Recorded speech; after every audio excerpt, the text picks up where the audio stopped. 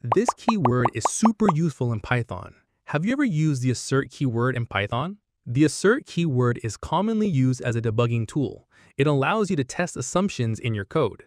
If a certain condition evaluates to false, Python raises an assertion error. Let's quickly look at the syntax. Here we have the assert keyword, then we have the condition, and then finally we have the error message. If the condition is true, the program continues as normal.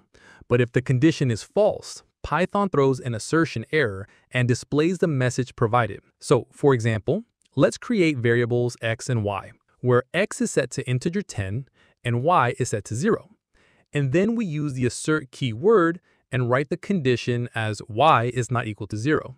And then we enter our message, which will be displayed when this condition becomes false. And now we will perform the division between x and y and print the result. Now, if we run the program, you'll see we get an assertion error with our custom message. That's because the value of y is 0, so the condition y is not equal to 0 is false, and the assertion kicks in. But if we change the value of y to 5 and run the code again, then the condition becomes true this time, we're not getting any error, and we're getting the division of x and y as the output.